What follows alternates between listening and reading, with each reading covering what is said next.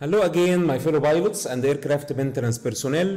Your host is always Haytham Aly, and I'm an aviation technical instructor. Welcome to my aviation nuggets for today. Today, we will have short minutes regarding the Airbus A320 thrust reverser system. And this is dedicated to the engine V2500. V2500.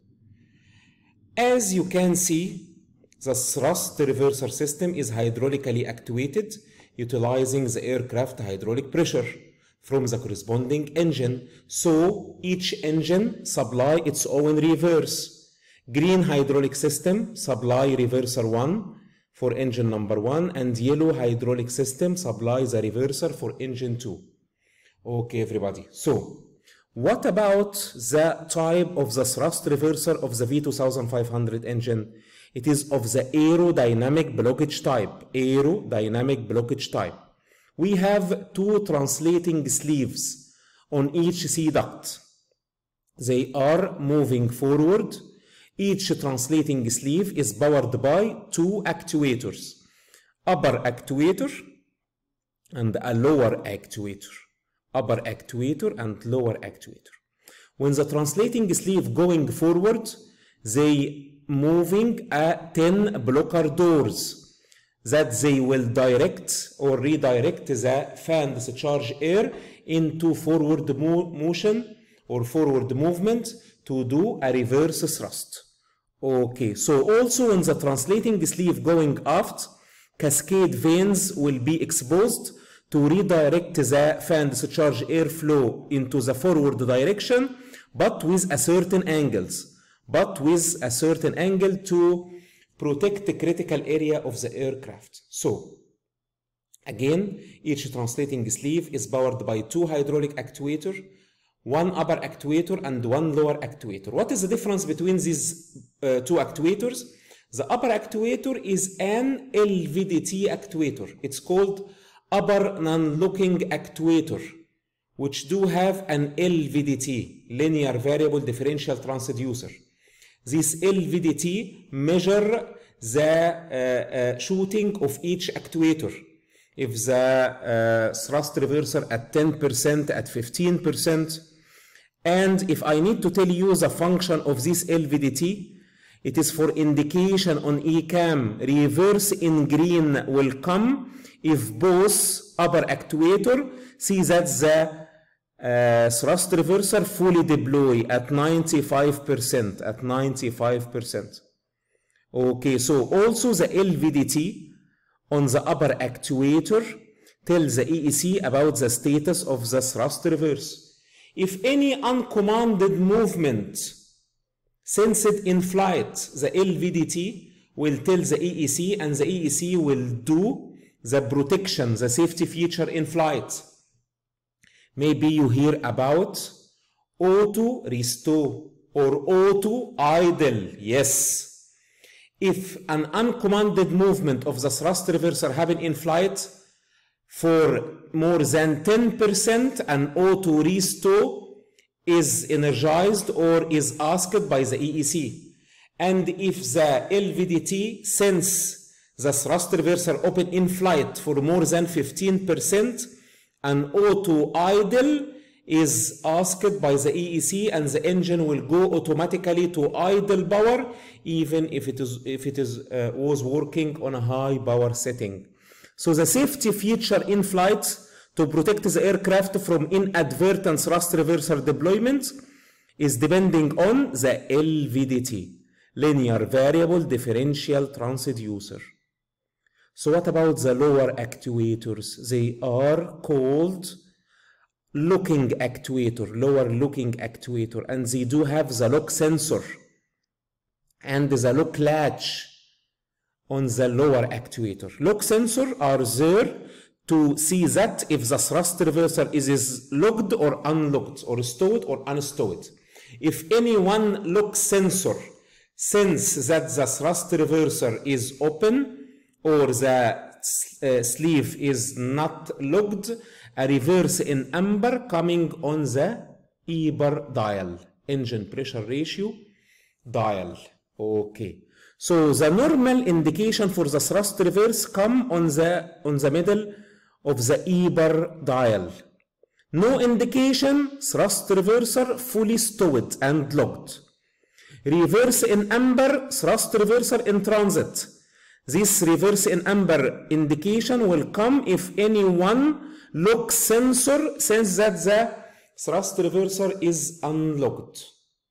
And reverse in green will come if both upper actuator from the LVDT shows that the translating sleeve is fully deployed so that reverse in green will come in the middle of an E bar dial. E bar dial. Okay, everybody. Thrust reverser, everybody need to operate on ground only, on ground only. So we have three line of defense to assure that the thrust reverser will only operate on ground. Primary uh, line of defense, secondary line of defense, and the third line of defense. What computer control this three line of defense and need to agree for the operation of thrust reverse? EEC manage the primary line of defense or first line of defense. EIU manage the secondary line of defense. And the SEC manage the third line of defense. Third line of defense. Okay, so what is the difference between primary line of defense, secondary line of defense, and third line of defense? You can monitor here that the third line of defense or third line of defense is managed by an airframe computer, which is a spoiler elevator computer. You need everybody to know that the third line of defense must be managed by an independent computer other than engine computer. So uh, we are always called the third line of defense an independent line of defense because we have an independent computer, not an engine computer, which is an airframe system computer, and we have an independent shut-off valve. Okay, so these three computer, EEC, EIU, and SEC must agree to operate and to deploy the thrust reverser, the thrust reverser. Okay. Each computer, everybody need to assure from a certain condition. Each computer need to assure from a certain condition. For example, the EIU need to assure from the LGCIU that the aircraft is on ground, landing gear compressed. The SEC must assure from the radio altimeter through the landing gear control interface unit that the aircraft altitude is less than 10 feet, is less than 10 feet. And the EEC must assure that the other engine is on idle, is on idle. Okay, so from where the input is coming to ask for thrust reverser from the throttle control lever. So pilot must manually select thrust reverse by releasing the reverser latching lever and taking the throttle control lever from idle to reverse idle. Uh, idle stop it at 0 degree and reverse idle is at minus 6. So we have three angles in the reverse sector ask for thrust reverser. They are minus 3, minus 3.8 and minus 4.2. So this angle come from three components inside the throttle control unit underneath the throttle control lever. We have potentiometer, resolver and switch. The potentiometer will ask the SEC at minus 3 throttle lever angle to allow thrust reverse. The switch will ask the EIU at minus 3.8 for thrust reverse. And the resolver will ask the EEC at minus 4.2 for thrust reverse. So, so at minus 3, SEC receive the input of thrust reverse. At minus 3.8, the EIU will receive, and at minus 4.2, the EEC will receive. So we have three input coming from the throttle control unit underneath the throttle control lever. And inside the throttle control unit, we have potentiometer, resolvers, and switch. Okay. Three computer, EEC, EIU, and SEC. Three safety feature in flight if an inadvertent thrust reversal happen in flight. Auto idle, auto restow, and auto thrust disconnection. Okay, so you need to always remember that the LVDT will initiate this safety feature and in any case you as a maintenance people, if you need to deactivate thrust reversal for flight, you need to check about the status of the LVDT. You need to check about the status of the LVDT. And uh, an inoperative thrust reverser must have an operative LVDT other than the aircraft no dispatch. Okay. So what about this component? It is called hydraulic control unit. Do have directional valve and an isolation valve. An isolation valve and a directional valve. Okay. These two valves are solenoid valves, are solenoid valve.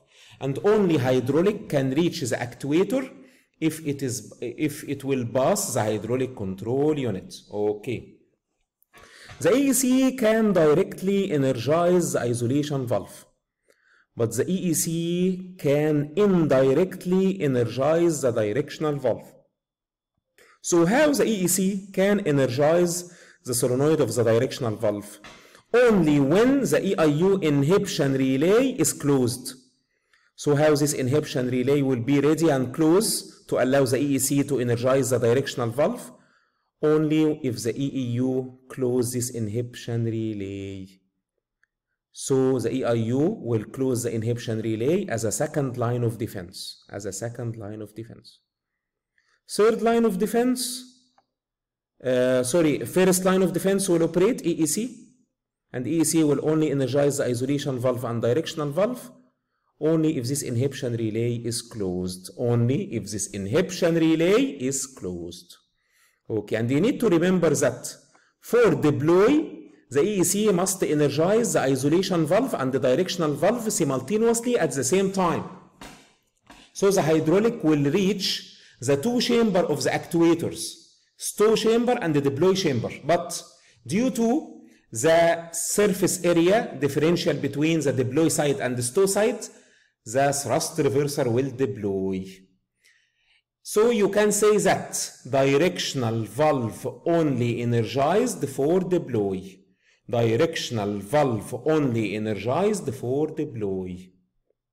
So that in any case the EEC only energizes the isolation valve, we assure of a thrust reverse stow. Thrust reverse stow. Okay, everybody. So the hydraulic will only reach the hydraulic control unit if this shut-off valve is opening. So hydraulic supply must pass the shut-off valve, then the hydraulic can go to the hydraulic control unit, and the isolation valve must be open to allow the directional valve to reach or have the hydraulic, and the hydraulic now can go from the hydraulic control unit to the actuators. Directional valve will choose if you need to deploy or stow. If you need to deploy or stow. Okay. So again, the upper actuator is an LVDT actuator, non-locking actuators. And the lower actuator, they are locking actuators. They do have the lock sensor and a, a locking mechanism inside the lock actuator. A locking mechanism is inside the lock actuators. Okay, everybody. So, if you need to know the uh, uh, meaning of uh, EEC is an electronic engine control. EEC is an electronic engine control, which is the heart of the FADEC engine computer. Engine interface unit, EIU, is an engine interface unit. SEC is a spoiler elevator computer, spoiler elevator computer. LGCIU is a landing gear control and interface unit. Okay, so the EIU must check that from the LGCIU that the aircraft is on ground. And the SEC must check from the radio altimeter that the aircraft is less than 10 feet or the aircraft is near ground. Also, the signal from the radio altimeter come to the SEC through the LGCIU, through the LGCIU. Okay, everybody. So, Sometimes you as a maintenance people need to deactivate the thrust reversal for maintenance operation. Anybody will work in the area of the engine, so we need to have safety time so that we need to deactivate the thrust reversal for maintenance. How you can only deactivate the thrust reversal for maintenance? From the hydraulic control unit. From the hydraulic control unit, we have a deactivation lever. From here, maintenance people can close manually or mechanically the isolation valve. You need to remember that when you deactivate the hydraulic from here by the deactivation lever, you are closing the isolation valve. Okay, so what about thrust reverser deactivation for flight? We need to dispatch the aircraft and we need to deactivate the reverser for a deactivated uh, uh, flight, reversal flight. So you need to do first hydraulic deactivation from the hydraulic control unit. Second, you need to do mechanical deactivation. Maintenance people must insert the lockout bin in the lockout assembly and need to assure that the translating sleeve is locked mechanically with the C duct. Locked mechanically with the C duct. So that pilot, when you do walk around and see the red pin on the translating sleeve, you need to know that maintenance people deactivate thrust reverse for flight. Deactivate thrust reversal for flight. And also you need to do check. After that, you need to do test from the MCDU on the thrust reverser to check the status of the LVDT. If the LVDT are not properly functioning, so the aircraft no dispatch. Because as I told you before, LVDT are responsible to tell the EEC, and the EEC can only do the safety feature in flight to protect the aircraft from inadvertent thrust reverser deployment. What are they? Again, auto idle and auto restow. The engine will go to idle if an inadvertent thrust reversal happen in flight, and then auto restow will be asked or energized by the EEC if an inadvertent deployment happen in flight. Which component measure the degree or the linear movement of the actuator is the LVDT. Linear variable differential transducer. Linear variable differential transducer. Okay, everybody. So, I hope these short minutes allow you to recall the thrust reversal system for the V2500 engine. V2500 engine. Again, we have three line of defense, and you you uh, uh, easily can say that thrust reversal operation must be agreed by three computer or three line of defense. Need to agree that the thrust reverser can only deploy on ground only deploy on ground. Green system for engine 1 and yellow system for engine 2 green system for engine 1 and yellow system for engine 2 if the thrust reverser is fully stowed and locked no indication on the EBR dial if the translating sleeve move and the lock sensor senses that the sleeve is open, reverse in amber. Only if the thrust reverser is fully deployed, reverse in green will come on the EBR dial. Reverse in green will come on the EBR dial. Thank you for your good listening. Thank you, my fellow pilots and my aircraft maintenance personnel my fellow aircraft maintenance people, for your good listening.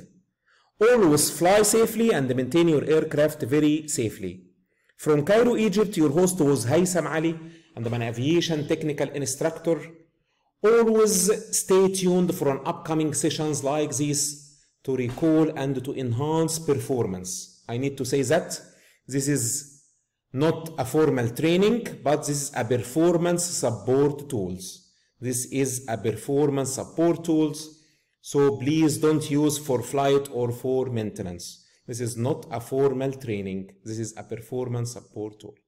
Thank you. Have a good day and goodbye.